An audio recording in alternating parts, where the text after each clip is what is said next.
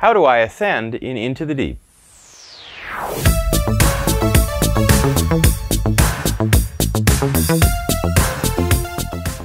An endgame is a separate task performed near the end of a match where a robot can accrue additional points by doing a specialized task. In Into the Deep, the endgame is climbing a structure at the center of the field for additional points. Be sure to reference the competition manual for this year's season to see exactly what rules you need to follow for a legal ascent.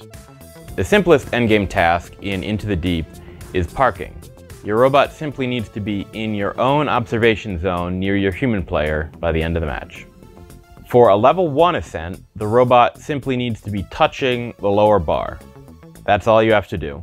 This isn't possible to do without actuating some sort of mechanism or part of your robot, since the first rung is above the legal starting height for your robot. This can be anything from an arm swinging up to touch the bar, to a zip tie popping up after the match starts, as long as you drive such that the zip tie is touching the bar at the end of the match. For the next level, a level 2 ascent, the robot must be fully off the ground and supported by either or both rungs on the submersible. Do note that you also have to achieve level 1 while doing this, but that's pretty straightforward. There are a few other rules you have to follow, like not being inside the submersible when you start. Level 3 is the final ascent level. To achieve this level, your robot must be fully supported by the high rung and fully above the low rung. Keep in mind, for a level 3 ascent especially, that before you can even touch the high rung, you have to be fully supported by the low rung. Parking and Ascent Level 1 are the easiest endgame tasks, and I hope that most robots can achieve either of these two. Parking simply needs a drivetrain and enough time left at the end of the match to drive over there. And Ascent Level 1 simply need any sort of mechanism or part of a mechanism that can extend even slightly above the maximum starting configuration. Level 2 is significantly more difficult than Level 1 and will need a dedicated mechanism or at least thought put into another mechanism to make it work. Since many of the other tasks in this game require your robot to expand outside of its starting volume, a level 2 ascent is likely possible with a mechanism you're already planning on designing. A level 3 ascent is significantly harder than level 2 and may be one of the hardest challenges FTC teams have ever seen. The increased difficulty is because it will almost certainly require a dedicated mechanism and you'll have to deal with factors you're not usually used to contending with, such as the center of gravity of your robot while it's swinging.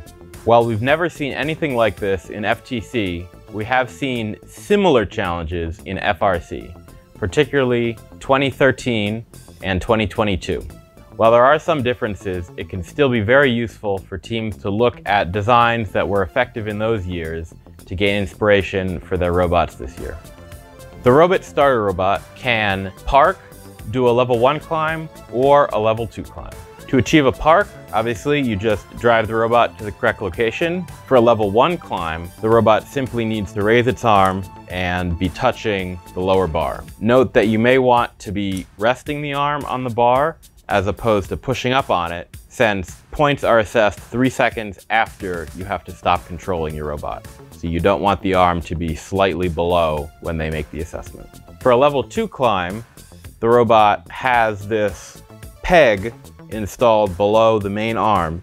This can be used to hook on to the low rung and when the arm is lowered, it raises the robot off the ground to achieve a level 2 ascent. Note that this is just a standoff bolted to an arm we were already planning on using. We did have an arm in mind because we knew we could probably do something like this. While practicing, you may note it's slightly difficult to line your robot up here you can see we've added some red tape so the drivers can easily see the hook. We did have to experiment a bit with where this standoff had to be added along the arm so that the robot CG rolled it and it was in a stable configuration after it climbed. This is one of our solutions to a level 3 climb. As you can see, this robot is only capable of a level 3 climb. We didn't add any other mechanisms to this since this one takes up a lot of volume inside and outside of the robot.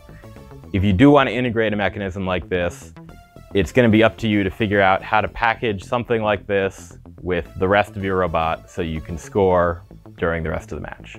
To start, we needed a single piece of the robot that was long enough to go from the base up to the first bar.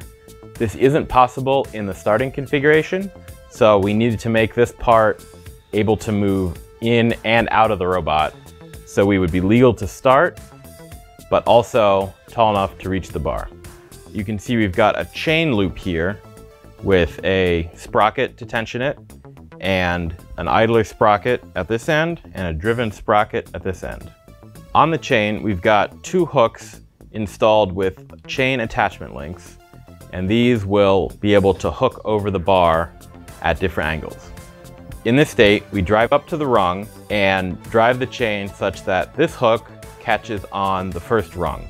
When it continues downward, this starts to lift the robot, and at the same time, we lengthen it. Once it gets off the ground, ensure that this bar contacts the high rung from the inside.